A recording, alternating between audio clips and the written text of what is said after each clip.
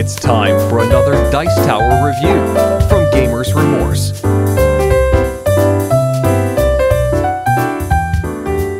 Hello, welcome back to Gamers Remorse. Today we're playing Out of This Galaxy by Fractal Evolution Games. I probably pronounced that wrong.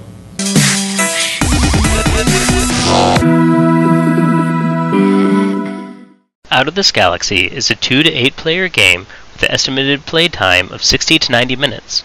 Play begins with each player getting a random starting engine, weapons, shields, and ship card, as well as 400 gold worth of coins, and 3 markers in each blue, red, and green. Play works with the high roller going first. Turns begin with players repairing their ship if they're in a space dock, and then removing and discarding active penalty cards, and finally rolling both die and adding the rolled numbers together. All players will check to see if the rolled sum correlates to the numbers on their engine card, and if so, giving the correlating number of spaces. After moving, players will check and see if the space they landed on have any activated events and if so, triggering said events. If the space you land on is occupied, your ship continues to the next open space on the game board. As players fly about the board, they will gather cards which activate immediately or at a time later explained on each card. Some cards provide treasure, while others will move the players forwards or backwards or have various other events such as being ambushed by space pirates. When players land on a wormhole, they are warped to the other end of the hole, whether that be forward or backward, depending on which side they land on. On a black hole, your ship is stuck until a turbo speed is rolled for your engine. Meteor spaces indicate that you must block meteors with your shields by rolling a d12 and seeing if the roll surpasses the hit count for the number of meteors shown on the space. You can choose to remove one of your blue tokens to up your roll by 3, but said tokens must be discarded before you roll the die. If a meteor strikes your ship, discard the adequate number of green integrity tokens. Pirates act like meteors, only now you are using weapons against the pirates instead of your shields. Again, you can discard tokens, only in this case red, to increase your die roll, and again it must be done before you roll the die. If you don't shoot down enough pirates, they manage to damage your ship, and again you must discard the proper number of green integrity tokens. Throughout the game, players may encounter missions and spaceports enabling them to possibly upgrade their ship's shields, weapons, or engines, at a cost of some of their gold. If you're lucky, you'll land on a trade route which will act as a shortcut, enabling you to save great, valuable time. When you land on a space dock, you can choose to repair your ship's integrity, or if your ship explodes, you'll resume at the most recent space dock that you have passed. The first player to arrive at the end location wins, and no, you do not need to roll the exact distance. Alright, I will start the game by rolling both of the d6s, which were just taken from me. You're just taken from you. You don't deserve them. And on our engine class, I rolled a five. Sean, do you have a five? I do. I move two. I'm going to start a mission by warping over to this path over here. Five, I will move two, and I get a mission card. The mission card is a ship integrity of five, value 200. You were integritized. Eight. I rolled an eight. I have a three. I do not have an eight, so Brian goes. Will you do me the honor of moving my ship three spaces? One, two, three. Mission. I'm going to accept that mission. Jerk. I roll it up. Five. Do you have a five? I do not have a five. I have a five. I get to move two. I get another mission card. So I missed you, moved you off mission. Mission card. Mission add-on. Shield is now plus one to defense roll. So four. Do you have a four movement? I do not. I do. I roll two. I move two. One, two. Event card. Advance eight spaces. Only three spaces if in the lead. One, two, three. I get another mission card. Damn, you are banking on these missions. Weapon is now plus one to attack.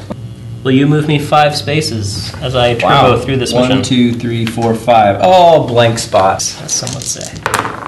I rolled an eight. Do you have an eight? I do have an eight. I will move three spaces, please. One, two, three. You get a bonus card. Alliance allow use of trade routes. Nice. I do not have an eight, so turn passes to Brian. Who rolls a three? All right. So So then I roll one, so I get a pirate one. So in space there are space pirates. I am now a space pirate. It looks like a sombrero. So I need to roll a nine plus. However, I have a plus one that are always going, so I have to roll an eight plus. Do it. Actually, don't do it. We're not. This isn't a co-op. And that's a six. So you lose one of your integrity. Due to the duration of the game, let's speed things up a little. Players will continue rolling the six sided dice, checking their rolled sum against their engine card, and moving the adequate number of spaces along the board, and acting the landed upon spaces special actions. In the gameplay, Sean managed to acquire an upgraded ship, engine, weapon, and shields. Brian, meanwhile, managed to acquire gold and the ability to take plenty of trade routes. Despite the random nature of player movement, the two seemed to manage to remain fairly neck and neck for the duration of the game. So let us now rejoin the players in real time. Three. I turbo for me. Twelve. 12 plus 13. 1, 13. 1, 2, 3, 4, 5, 6, 7, 8, 9, 10, 11, 12. No! so you can now only move on 3, 6, and 11. And 2 and 12. How about 5? 5 doesn't, doesn't help either of us any good. I like 8s. You don't? Nope. That's you? That's me. One, two, three. Bonus card. 200 gold. 6. Not 8. eight. Works all, all right. 3. 1, 2, 3. 9 four. One, two, three, four, five. I'm gonna sail through here because I'm Double turbo, move maximum turbo movement now. Wow. One, two, three, four. This could be the end. Eight. Or nine. Nine. I move five. One, two, three, four. Winner! Pirates always prosper. This has been Out of the Galaxy. Uh, Sean, would you like to open us up with the rule? Yeah. Um. The rule. Rule. The rubric. The rubric. Uh, the yeah. review. The review of the game. Tell me about the game. Yes. I'll hit head into my rubric. Uh, quality of components zero to two. I gave it a one. They probably could have found like space currency. I know Hegemonic made these fantastic space coins. That was just some nitpickery I had. Overall, the board seemed decently laid out once we started playing it, but when you first unbox it, it was like, oh, this is really busy. There's a lot of dots. This game is going to take hours to play. It really didn't take that long. Good balance of skill to luck, 0 to 1. I just talked about that a little bit. I gave it 0.75. The randomness seemed to balance itself out. I've noticed this phenomenon in several games. One person can be extremely unlucky in one facet, but extremely lucky in another, right? So Brian over here was winning up ahead. He was doing fantastic moving forward, but he wanted this engine to seal the deal. I managed to grab it by pure luck, mm-hmm. right? But he was lucky enough to not get sent back in wormholes or stuck in a black hole. So it was really cool to see those two mechanics, though very random, balance each other out. Analysis paralysis, zero to one. I gave it one. There isn't a whole lot of options here, right? You roll a die, you check your list, you see how far you can move. You have the occasional option. Do you want to go on a mission? Do you want to go on a trade route? Those sorts of things. Do you want to buy a card? Those are all your options. It's not so immersive and and so convoluted that people get lost in the mechanics like uh, some other games. I'm not going to pick on any games today, but there are other games, certain Euros that, you know, do I want to invest in this or that? I mean, theme 0 to 2. I gave it a 1. It had the space theme, it has some cool space dock, Pizarro's hideout. I'm sure there's some references in here that I don't get. It seems like there could have been more to it. There could have been like little alien cards instead there's pirates. And I get space pirates, you know, I mean, that's kind of the whole Firefly thing. Seemed like the artwork kind of backed that up a little bit more. Uh, Thrill versus competitive 0 to 2. I gave it 1.5 because honestly, towards the end, when Brian was way up here, I was almost considering giving up. And then I started getting fantastic rolls. Again, that randomness seemed to play into it and balance itself out to the point where I was like, I can win this thing. This is awesome. And in fact, I was ahead of you here. And then I got stuck in a black hole and you just passed by me. But, I mean, I definitely felt the thrill competitive edge to it which is crazy because it's advanced Chutes and Ladders. But it was a lot of fun, which goes into my next point. Was it fun? One to two. I gave it a two. I really liked it, and I didn't think I would. So that that says a lot. And this is one of the rare games that actually pulled me back and said, "No, Sean, don't judge a book by its cover. Give it a shot." And I, I really had a lot of fun with it. Uh, I gave it a seven point two five. So that's that's a pretty good score. I mean, this is this is a good indie game. I would I would definitely recommend it. What do you think, Brian? As I think all gamers have to admit deep down in our gaming souls, when you open a game, you have predispositions towards it. And for both of us, our predisposition was, oh, look, it's Candyland. the non-artful version. Um, and then we start playing it, and we see the wormholes, and we're like, "Oh, it's not Candyland; it's shooting some ladders." Um, but then we actually start playing the game, and it's like, you know what? You guys are wrong. Stop judging me before you play me. Which is weird when you hear a game start talking to you. Um, it's probably something in the water around here. Um, so, with no further ado, let's jump in. Uh, as far as the visuals between one and two, I did only give that a one. Uh, the visuals are not something that you would look at and be like, "Wow, these are amazing." Um, they are actually quite mediocre. Uh, you could have a much more space-aged font. The card backs were moderately boring. Um, the coins are not thematic at all. For the skill and luck, the zero to one, I gave that a 0.5.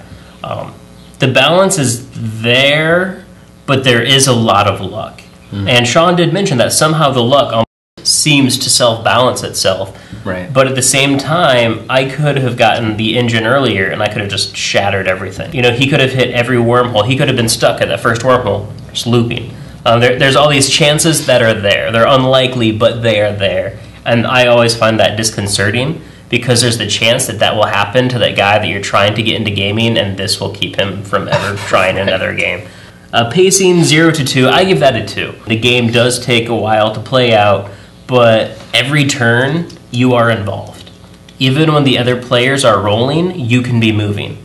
And you can be looking at the cards you have, and oh, I could use this card because I'm not getting to move. Or I can move double my turbo now. Um, so even when it's not your turn, you are in the game, which I found quite exciting. Theme and immersion, 0 to 2, I give that 1.5. The theme was slightly there, but not entirely. I already mentioned the coins that were kind of off.